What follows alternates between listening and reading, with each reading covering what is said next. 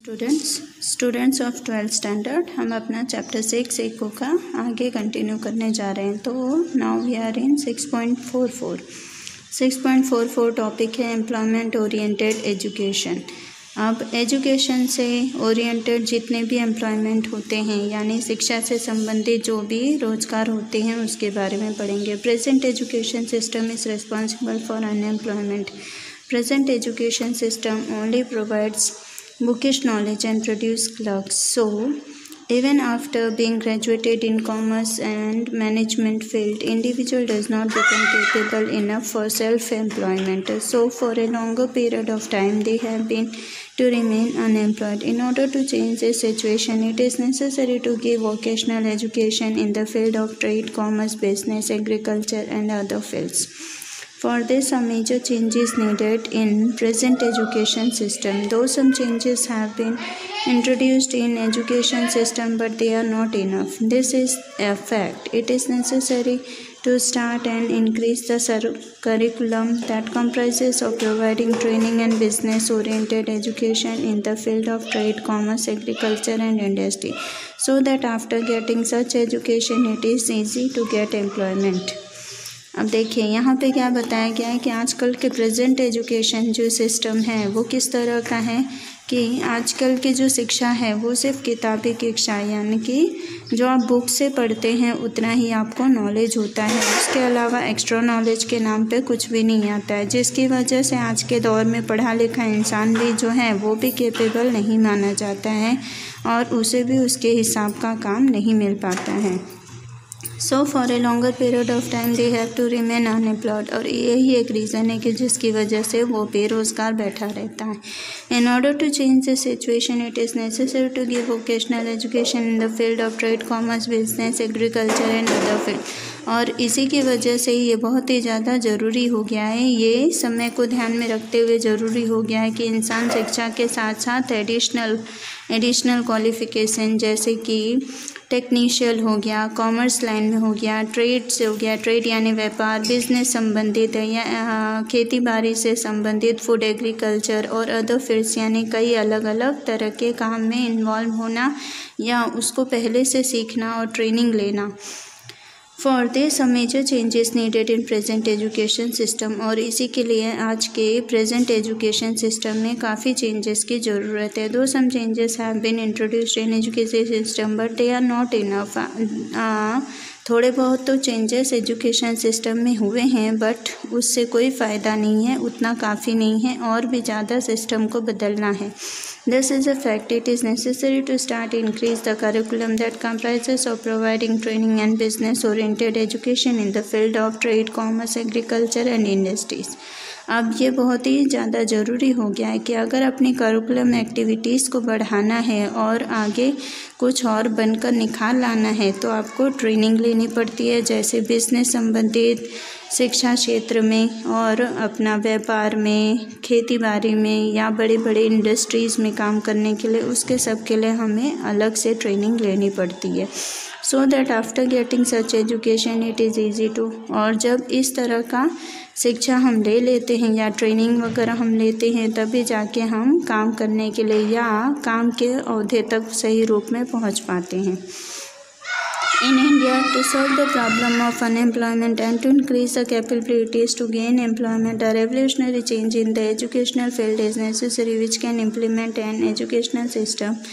with perfect human resource planning अब अपने भारत में यही जो अनएम्प्लॉयमेंट की प्रॉब्लम है, यानी जो बेरोज़गारी की समस्या है तो उसको कम करने के लिए हमें क्या करना पड़ेगा? कैपेबिलिटीज़ को, यानी रोज़गार पाने की जो कैपेबिलिटी क्षमताएँ हैं, उसको बढ़ाना पड़ेगा। और a revolutionary change in the educational और उसके लिए सबसे ज़्यादा ज़रूरी है कि अपने शिक्षा संबंधी क्षेत्रों में बहुत सारे परिवर्तन की ज़रूरत है which can implement an educational system and can perfect you जिसकी वजह से ये पॉसिबल है कि इंसान आगे बढ़ पाएगा और अपने मुताबिक, अपने मन मुताबिक या अपने काम के ही शिक्षा के मुताबिक उसे काम मिल पाएगा। In the new education policy of 2015 the employment generation collaboration with industries way develop as the objective to have vocational education similarly in future years which sector has employed opportunities has to be studied and accordingly curriculum needs to be prepare which should also include private sector association. Friends let us continue तो हम यहाँ पर थे in the new education policy यानी कि जो education की नई पॉलिसी है 2015 में इम्प्लीमेंट हुई है उसमें एम्प्लॉयमेंट यानी रोज़गार जो है रोज़गार की generation collaboration with industries way developed as the objective to have vocational education अब उसमें लोगों को ये प्रेरित किया जा रहा है कि वो लोग अलग अलग तरह की शिक्षा पाएँ। Similarly in future years which sector has employed employment opportunities has to be studied और ऐसा माना जा रहा है कि आने वाले सालों में जो रोज़गार की जो तकनीकें होंगी, वो धीरे धीरे बढ़ती जाएँगी, अलग हो जाएँगी। और सभी को अपॉर्चुनिटीज़ मिलेंगी, यानी सबको कहीं ना कहीं काम करने के लिए प्रेरणा मिल जाएगी। Has to be studied and accordingly curriculum needs to be prepared which should be include private sector association और ये सारी चीज़ों को जितनी भी करिकुलम एक्टिविटीज़ है, या जो एडिशनल स्टडीज़ आपने अचीव करी है, वो सारी चीज़ों के प्रिपरेशन जो है, वो आपको काम के ज़रिए मिलेगी और वो प्राइवेट सेक्टर एसोसिएशन यानी प्राइवेट जॉब जो करने वाले लोग हैं, उनको उसकी फैसिलिटीज़ उपलब्ध होगी।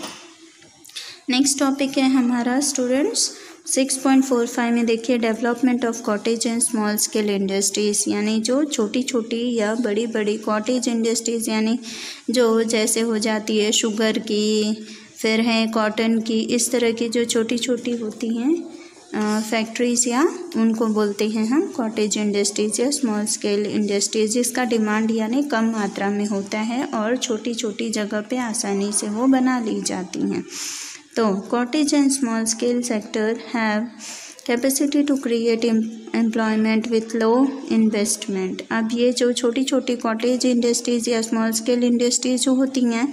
वो कहीं भी छोटे से इलाके में और छोटे से पैसे लगा कर इन्वेस्ट कर कर उसको हम चालू कर सकते हैं। To provide employment to one percent low capital investment is required as compare to big industries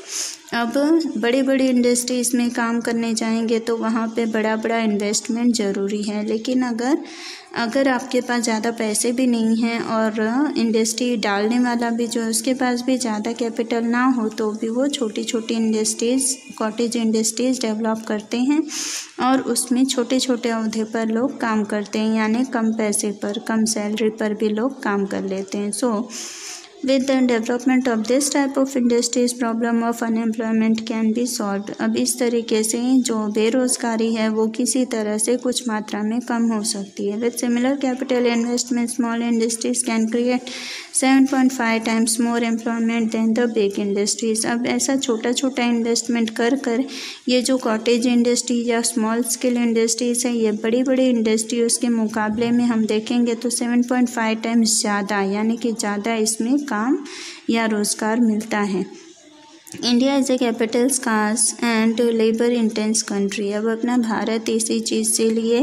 labour intense country यानी बहुत बड़ा बहुत बड़ा देश है और जिसमें छोटे छोटे अहदे पर काम करने वाले लोगों की बहुत सारी समस्याएँ ख़त्म हो सकती हैं। So development of cottage and small scale industry should be accepted at the as the best alternative and special initiative should be taken for its development और इसीलिए